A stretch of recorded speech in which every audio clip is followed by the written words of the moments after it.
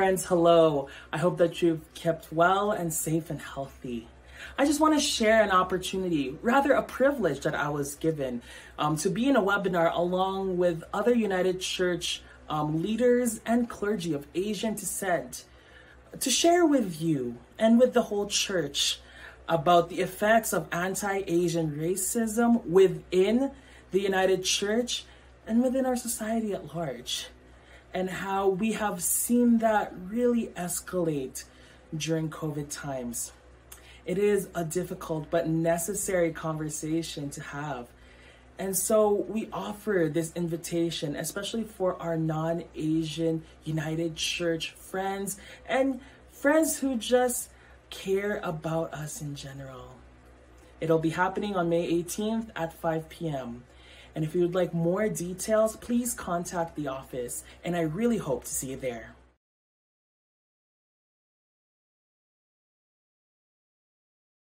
Good morning, everyone, and welcome to worship at Central United Church on this beautiful spring morning.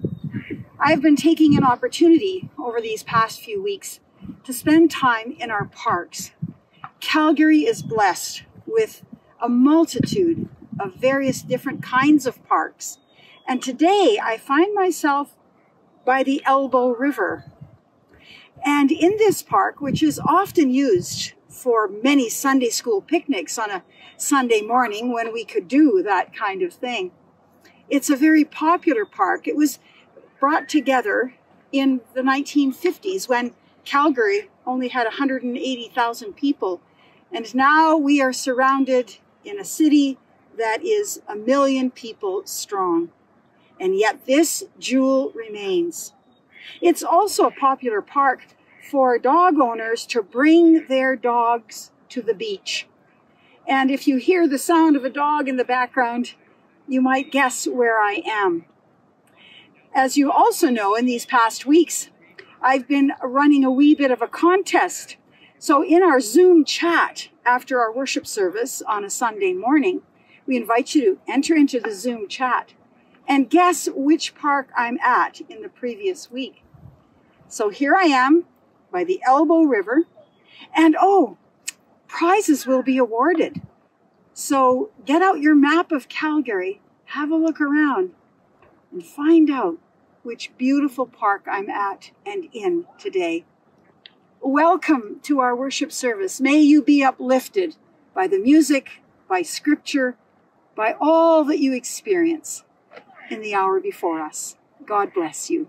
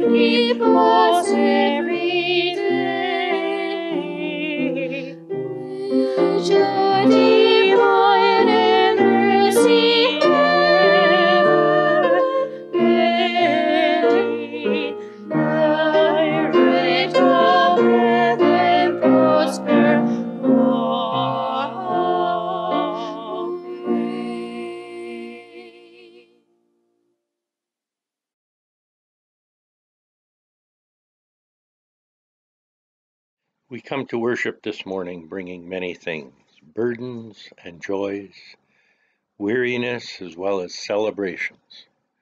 We come to worship seeking many things comfort and strength and encounter with God. We come to worship knowing many things, knowing that we are invited to live by faith, knowing that in this life there will always be more questions than answers. Gather us in, O Lord, our longings and our hopes, and let them be experienced in worship this morning. May we gather with a sense of joy and thanksgiving.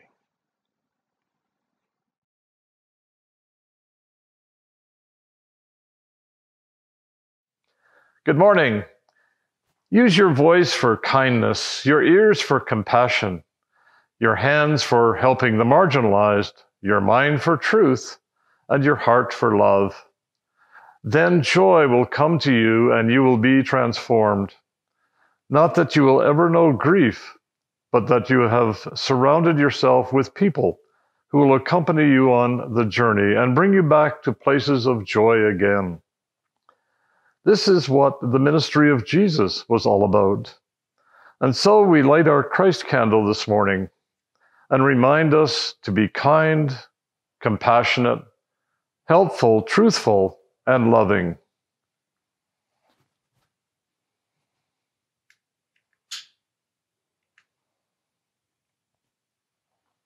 And may the light of Christ shine in your heart this day.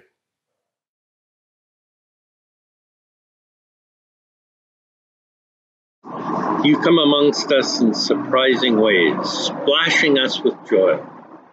Come this morning, we pray, to fill our minds with wonder and to open our eyes to renewed sight, to fill our lives with the warm embrace. Open our hearts and receive your unconditional love, and to know joy just being in your presence. Amen.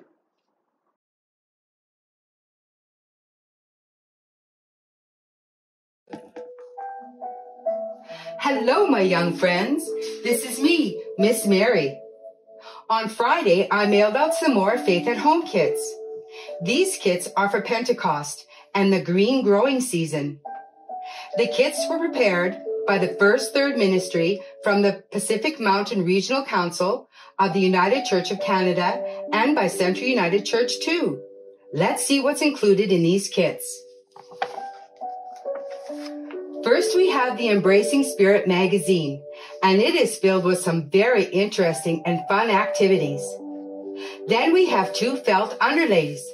The red is for Pentecost, and the green is for the green growing season. Next, there are four good news postcards for you to send a note of gratitude and enthusiasm to people you care about. Then there are some watercolor papers. These watercolor papers are for you to do a breath painting. This is origami paper, Japanese paper folding art. Next, there are some pieces of wax paper and elastics so you can make a kazoo. This ribbon and this stick are for you to create a Pentecost ribbon wand. And these straws and feathers are for your family to have some straw races. Wow, that is a lot of fun stuff.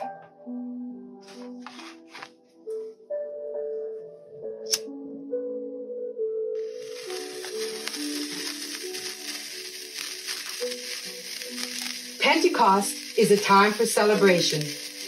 We celebrate God. We celebrate Jesus.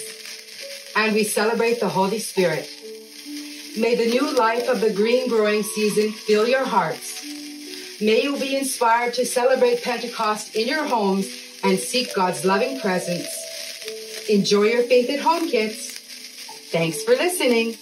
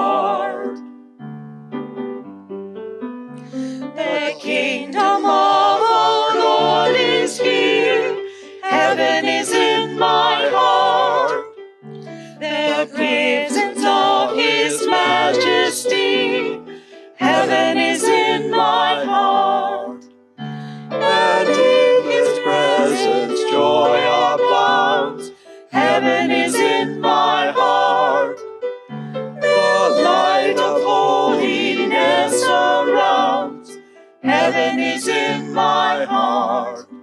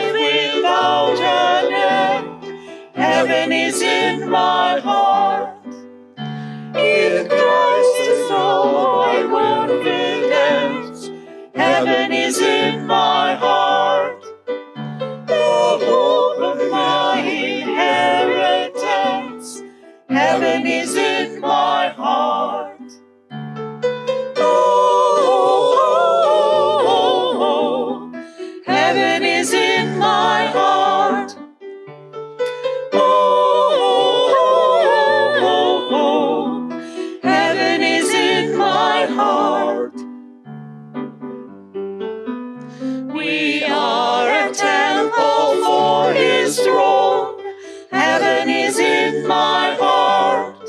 And Christ is the foundation stone. Heaven is in my heart. He will return to take us home. Heaven is in my heart. The Spirit and the bride say, Come. Heaven is in my heart.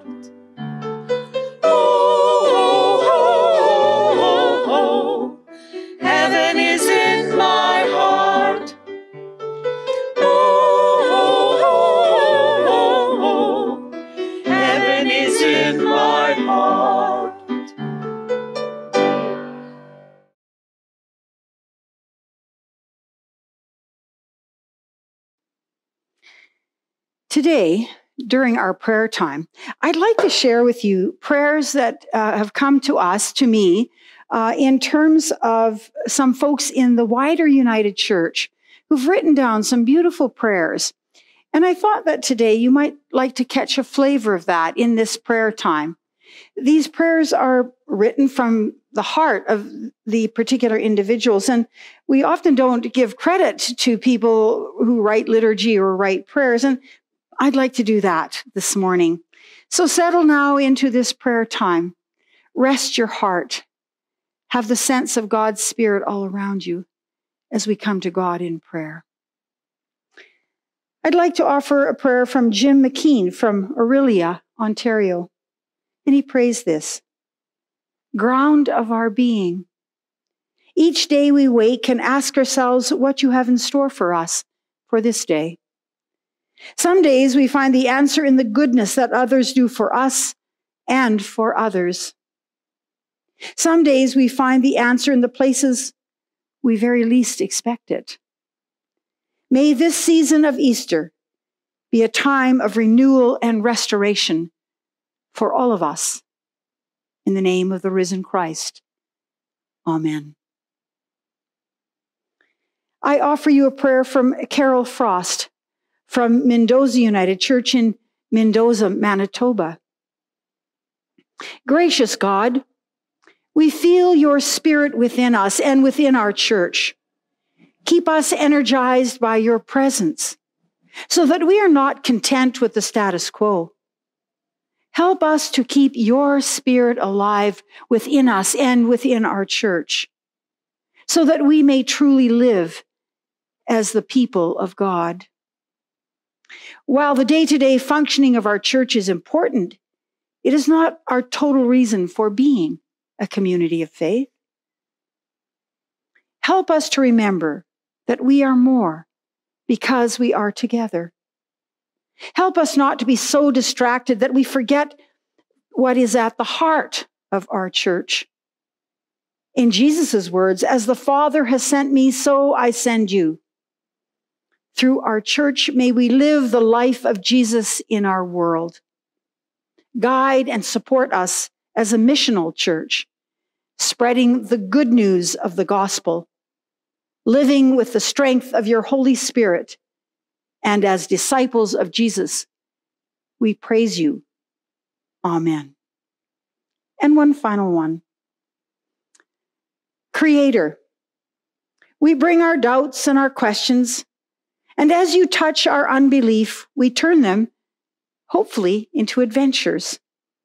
Come now, O Spirit, and create a moment of glory and joy where we can sense you among us, and the world can witness in us the good news that the resurrection brings. Amen. A prayer written by Peter Chenoweth from Yellowknife in the Northwest Territories. I offer these different prayers to you so that you have a sense of the wideness of the United Church and the vast array of people who call the United Church their home and whom we are praying with this morning as we say together that beautiful prayer that Jesus left us when he said, Our Father who art in heaven, hallowed be thy name. Thy kingdom come. Thy will be done on earth as it is in heaven. Give us this day our daily bread, and forgive us our trespasses, as we forgive those who trespass against us. And lead us not into temptation but deliver us from evil. For thine is the kingdom and the power and the glory forever and ever. Amen.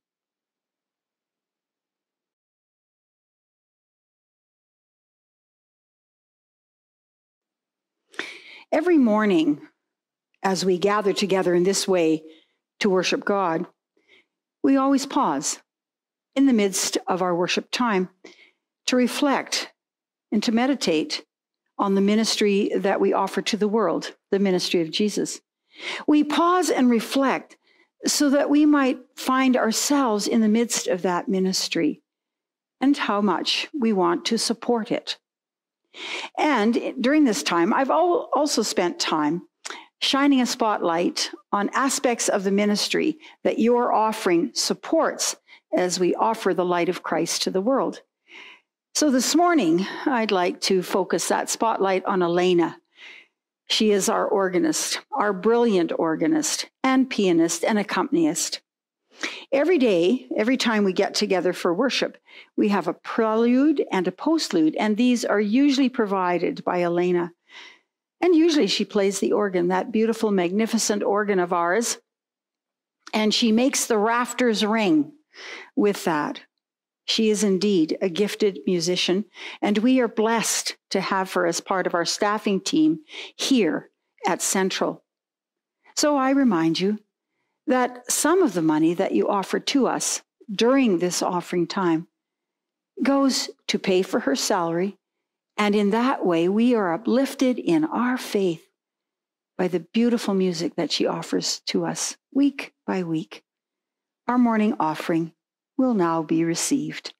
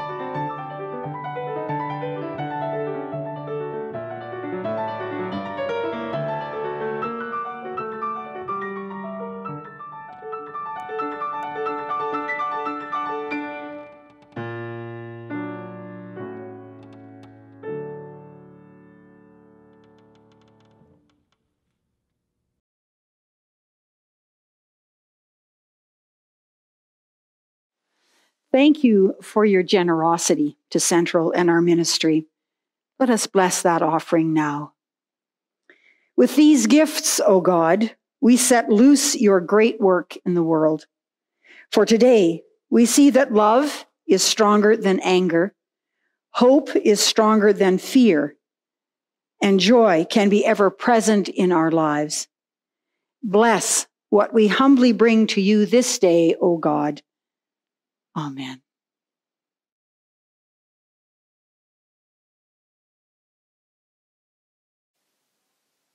Good morning. The scripture reading this morning is taken from John 17, verses 6 to 13 from the New Revised Standard Version translation. I have made your name known to those whom you gave me from the world. They were yours, and you gave them to me, and they have kept your word. Now they know that everything you have given me is from you. For the words that you gave me, I have given to them, and they have received them, and know in truth that I came from you, and they have believed that you sent me. I am asking on their behalf. I am not asking on behalf of the world, but on behalf of those whom you gave to me, because they are yours. All mine are yours, and yours are mine and I have been glorified in them. And now I am no longer in the world, but they are in the world, and I am coming to you, Holy Father. Protect them in your name that you have given me, so that they may be one as we are one. While I was with them, I protected them in your name that you have given me. I guarded them, and not one of them was lost except the one destined to be lost, so that the scripture might be fulfilled. And now I am coming to you, and I speak these things in the world, so that they may have my joy made complete in themselves. The word of the Lord. Thanks be to God.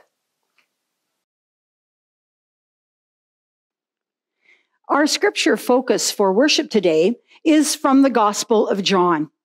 It is one of the four gospels that forms the canon of part of the New Testament or the Christian scriptures for us. It is the gospel that was written the last, around 100 to 110 CE. And so by this time, two things are happening. Number one, that group of people, the followers of Jesus, are starting more and more to move away from the synagogue. They are now becoming more fully Christians rather than Jewish Christians.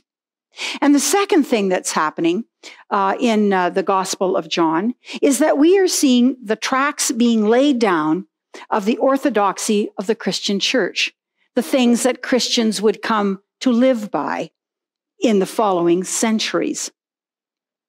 So the Gospel of John is different than the first three gospels, Matthew, Mark, and Luke, which are called synoptic gospels and which use each other's to write their gospel. The Gospel of John stands alone. It has that theological flavor to it that is quite strong and certainly sets the pattern for our belief system as Christians. Early church fathers thought that this Gospel of John was actually written by John, the son of Zebedee, who was a disciple of Jesus. But the dating of it at around 100 uh, CE would tell us by this time that the original body of disciples, all of them were gone, and the original followers would have been gone. So they are, John is looking back in time and he is giving us information about what happened.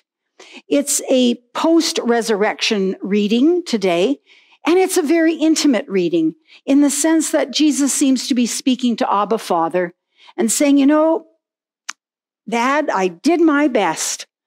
I tried to teach them all that you taught me, that you poured into me, and now I poured out into them. And now I'm coming to you And my hope and prayer is that I have left joy within them, joy in abundance, so that they will know that their lives can, in the midst of even the most difficult moments, can be lived with joy. That is my legacy and my gift. I hope that I'm leaving with them joy in abundance.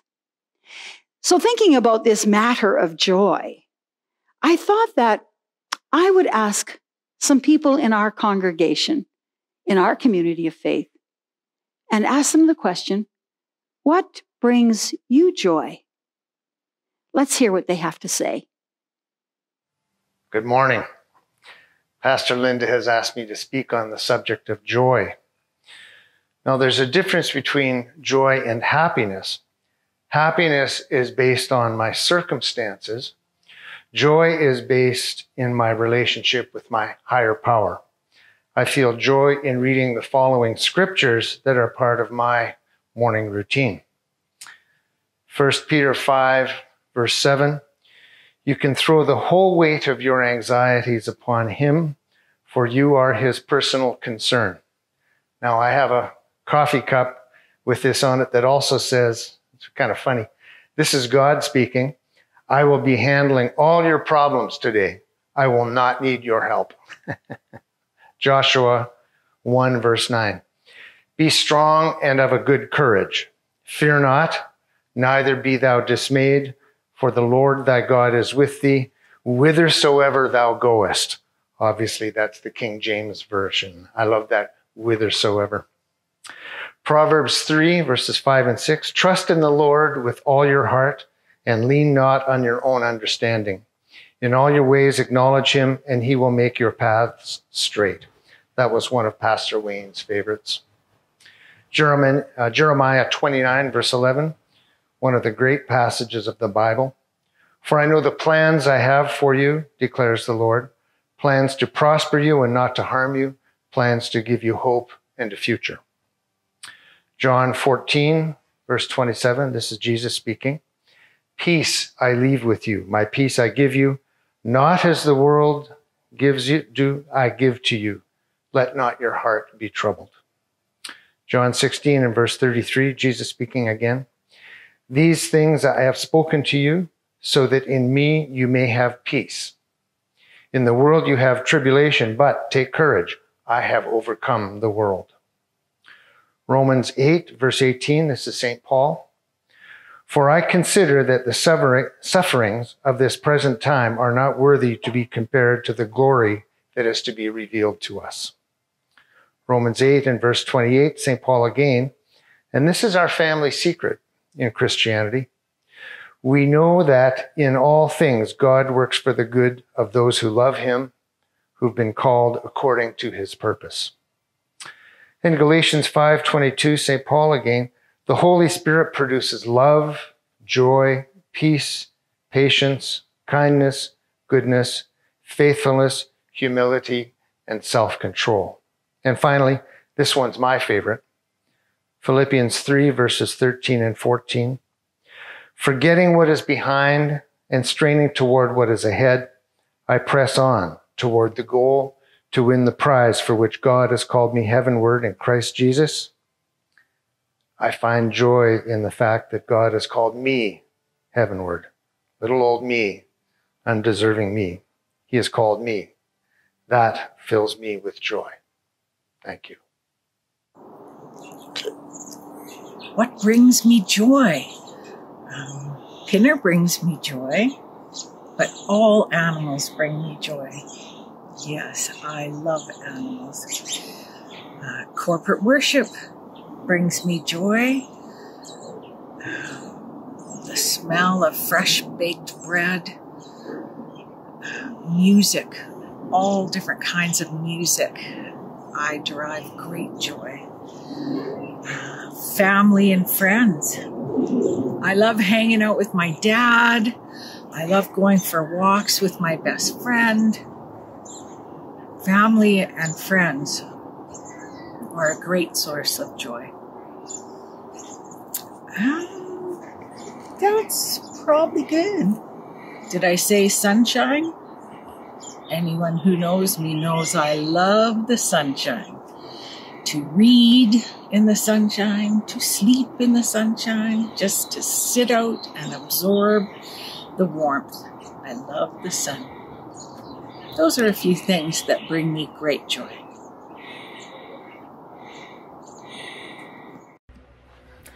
Hey, I just wanted to share something that gives me a lot of joy, and that is food. A really nice meal with amazing company, having a good time.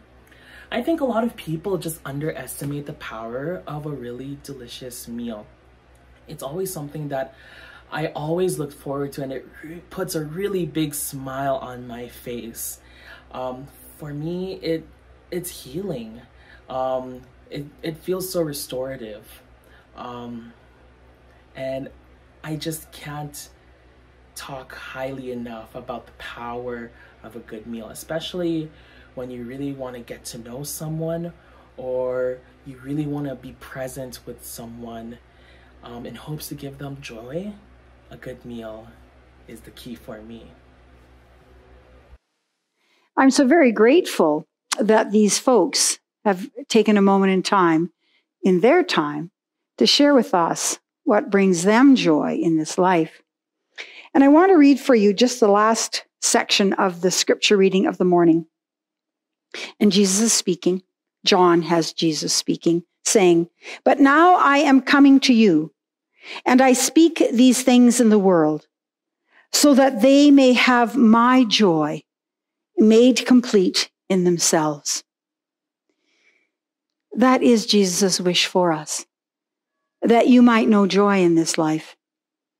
And in this time of pandemic, when it's so difficult to find those slivers of joy, perhaps it's time for us to develop an attitude of gratitude, even for the smallest things that are rich and full and wholesome and healthy and joyful. Perhaps in that way, in that attitude of gratitude, we will deepen the places of joy within ourselves. And then we might spread that joy to others, even as Jesus did and his disciples, because God knows the world needs joy. May you be the person who sows seeds of joy in this world. Oh, Amen.